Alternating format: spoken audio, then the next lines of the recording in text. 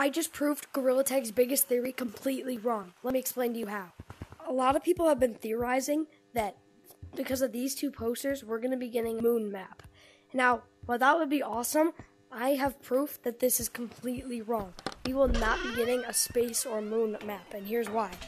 The rocket that just actually launched is not here right now, but the rocket's normally here. All of these things have led people to think that we were beginning a moon map, but no. The real answer that Lemming has put these items in is because of their new game A2. I'm so excited for this game. It's going to be a space game, and I really am excited to play it.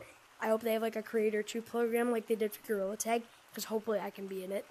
I really, really am excited for this game. But there will not be a space map probably coming to Gorilla Tag because of this if they do, it's to be like the current volcano thing where it's just like you can see the moon or something. It's only like available for a little bit.